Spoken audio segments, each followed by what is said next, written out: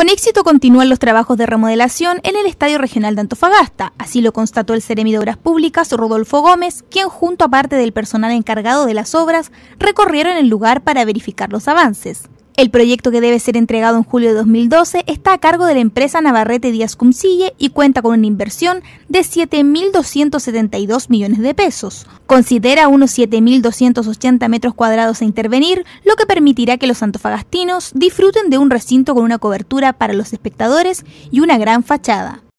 A esto hay que agregar que contará con un moderno marcador y las butacas llevarán los colores blanco y celeste que representan a Club Deportes Antofagasta, entre otros arreglos. A la fecha ya se cercó todo el perímetro del estadio, se están quitando los asientos del sector preferencial, demoliendo la parte de la marquesina y removiendo el pasto de la cancha que será reutilizado en distintos espacios de la ciudad. Está de acuerdo a lo programado.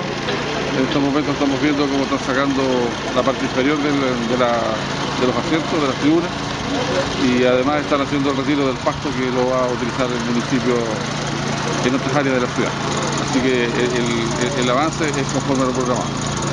Hasta el momento los trabajos van de acuerdo a lo programado, por lo que es de esperar que dentro de un año los antofagastinos puedan disfrutar de un estadio completamente remodelado y con una capacidad para 21.000 personas, pese a que se había dicho que se mantendrían los 25.000 espectadores. Por fin se ven los trabajos para el nuevo estadio, el mismo que los antofagastinos han tenido que esperar por bastante tiempo.